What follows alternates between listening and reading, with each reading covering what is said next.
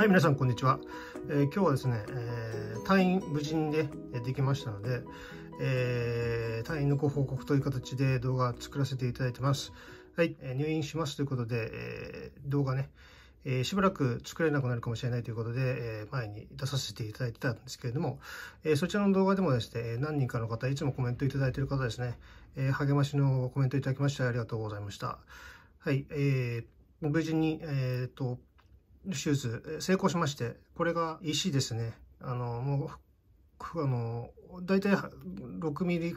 から8ミリぐらいの大きさのものなんですけど、あの、あの10個以上のに細かく砕かれて取り出していただきました。はい。えー、本当に信頼できるお医者さんに当たって僕は良かったなと思いました。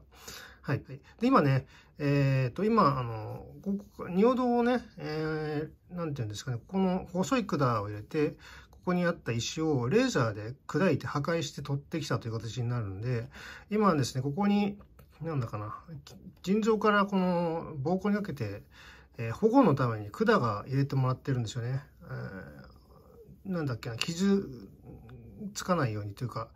あの保護するために2週間ぐらい入れておくっていうのがあるんで、まあちょっとですね、あの、違和感というか、あの、まあ痛みではないんですよ。一石、血石が詰まってる時のような痛さはないんですけど、まあ、鈍いなんていうかな、あの、あ痛みではないんだけど違和感みたいなのは若干残っているのと、あとやっぱりおしっこするとき、あの、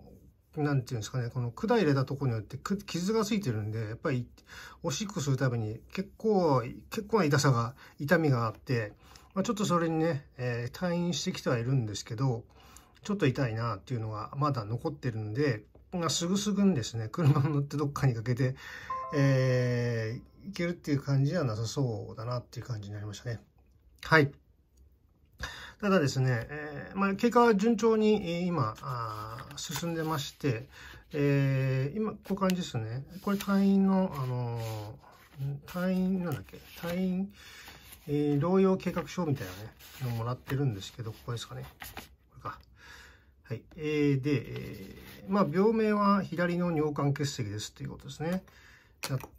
て、えー、手術は左の TUL という、まあ、レーザーで、えー、破壊してくるっていうね、細かく砕いて、っていうかですね、で10日に入院して、翌日に手術して、13日に退院っていう感じでしたね。僕も、あの、今回の手術、まあ、全身麻酔の手術は3回目になって、まあ、12歳の時、まあ、小学校の時ですね、に、えー、んと、盲腸の、破裂しちゃって腹膜炎になりかけたっていう結構これは重い方の手術。をしてましてそれが1回目ですね12歳ぐらいの時。で24歳ぐらいの時に肺の、えー、アスペルギルギウスですね、え、カビの病気ですね。肺の中にカビができるみたいな病気があってですねえー、それで全身麻酔で左の肺の一部を取ってるんですけどそれも結構重たい手術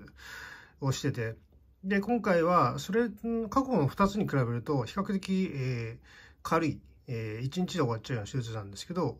えー、それでもですね、あの、痛さに、痛いのは痛かったですね。やっぱりすげえ痛かったです。ただ、回復が早いんでね、みるみる、あの、治っていくっていうか、痛さも緩和されていくみたいな。えー、今、ね、ちょっとね、えー、と、おしっこするだけちょっと痛いんですけど、それも一日一日、痛さがどんどんどんどんなくなっていくような形で、えー、まあ、あと2週間もしてら、えー、管がここからね、えー、取っていただいて、えー、で、えー、元気になるかなというところですね。はい。えー、なので、え、ちょっと今月は、え、っと、8月についてはですね、ちょっと動画ね、車乗れないんでね、あんまり動画作れないかなというところなんですよね。なので、9月、10月になったらまた、週1のペースで動画を作ってあげていくこともできるんじゃないかなと思っています。はい。えー、まあ、車だけじゃなくてね、時計のね、えー、話題もね、えー、作っていきたいなと思ってますんで、えー、車とね、動画、あ車と時計ね、えー、2つが僕の動画のメインコンテンツなんで、